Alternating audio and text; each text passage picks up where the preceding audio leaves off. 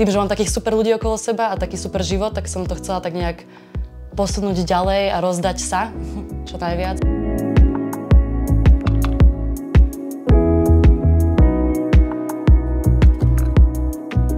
Ahojte, ja som Barbara, pochádzam z Martina, ale aktuálne žijem v Bratislave, kde aj pracujem v Centre pre deti s poruchami autistického spektra. Moja organizácia sa nazýva Savio, je to vlastne salesianská organizácia a táto organizácia každoročne vysiela ľudí do zahraničia, ako napríklad Afrika, ale aj Ekvádor.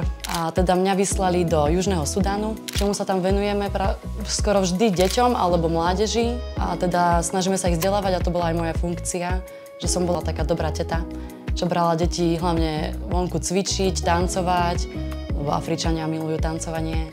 Alebo potom ešte som sa mala ako čo najviac venovať, venovať ľuďom tam, spoznávať tú kultúru a čo najviac im venovať svoj čas.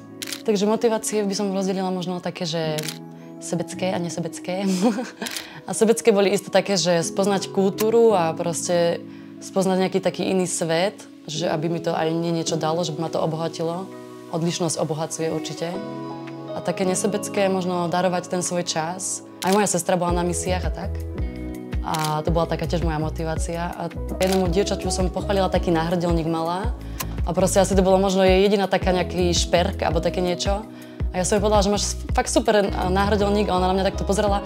Tak si ho zober a dala si ho hneď dole a hneď mi ho dala. Majú fakt ťažké životy v tom Južnom Sudáne, ale vždycky boli strašne veselí, vôbec nedali na sebe poznať, že, že sa nejak majú ťažko. Tancovali, veselili sa, tak to bol také, že aj taký príklad do môjho života, že že my tu možno všetko bereme tak ťažko, tak vážne a pritom stačí sa možno tak trochu iba odosobniť a proste to tak odľahčiť, tento život.